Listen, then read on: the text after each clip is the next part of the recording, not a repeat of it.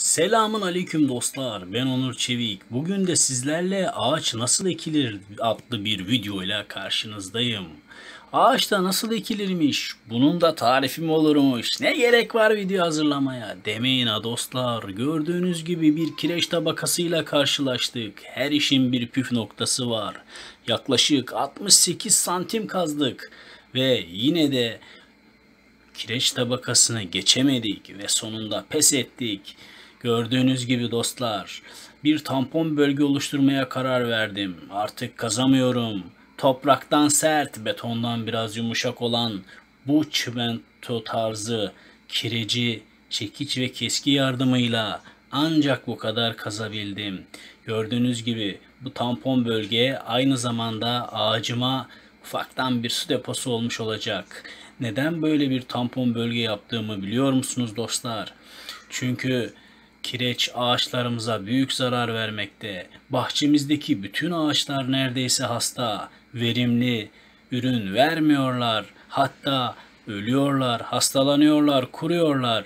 Onun için bir önlem amaçlı bu şekilde kendi ellerimle yetiştirmiş olduğum fidanı toprakla buluşturmaya karar verdim. Yaklaşık 4 yaşında, yaklaşık değil hatta tam olarak 4 yaşında olan hurmamı buraya ekeceğim.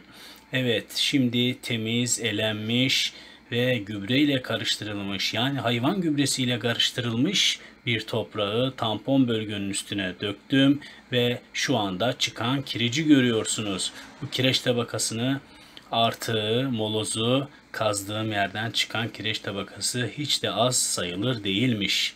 Şimdi buraya 4 yaşında olan Trabzon hurmamı kimileri cennet elması der, kimileri ne der? Ne derse der.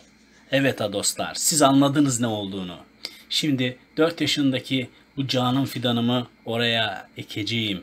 Bu fidanı Antalya'nın e, sıcak ikliminde yetiştirip Korkuteli ilçesine varıp ve toprağa buluşturmayı deneyeceğiz. Bakalım neler olacak. Yani birazcık düşünüyoruz. Soğuk konsantresi olur mu? Olmaz mı? Videonun içerisinde bu cevabı bulacağız dostlarım.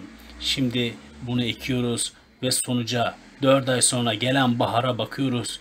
Ve evet yeşerdi, yeşerdi ve 138 santim boyunda şu anda dostlar. Bakalım meyvesini ne zaman alacağız? Takipte kalırsanız kesin haberiniz olur. Ve meyvesini bakalım ne zaman alacağız? Görüşmek üzere. Hoşça kalın ve dostça kalın. Allah'a emanet olun. Bay bay dostlar.